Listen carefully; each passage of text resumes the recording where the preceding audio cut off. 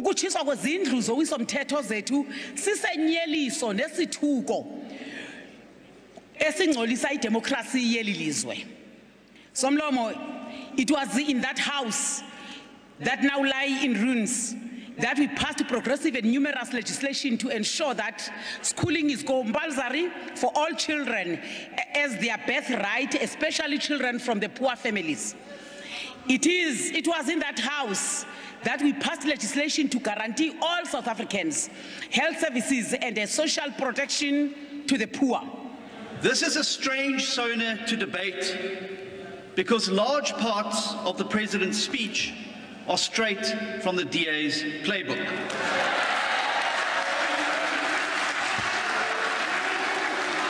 Let's be clear, that is a good thing. It's a good thing. Because what we need if we want to fight poverty is agreement of where and how jobs are created.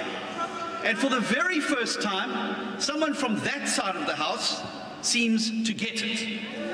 A president of a former liberation movement comes here to say that government does not create jobs and the hopeless people of our people must wait for private sector to create jobs for them.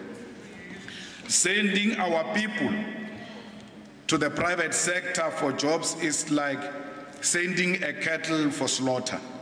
What we know about the private capitalist sector is that its purpose has never been and will never be about creation of jobs. The purpose of a capitalist industry to exist is not for jobs purposes. The purpose and sole purpose of capitalism and the private sector is to make profit. Honorable Prince Buthelezi has commended you before, Honorable President, on moving away from the previous era of telling us a good story.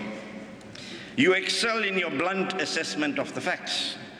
In February last year, you told us, and I quote, our unemployment rate now stands at a staggering 30.8%. That was true. But then you told us, and I quote, as a result of the relief measures that we implemented and the phased reopening of the economy, we expect to see a strong recovery in employment by the end of the year, close quote. That strong recovery in unemployment was nowhere to be seen. The ANC government failed the people and especially the young people as far as employment is concerned.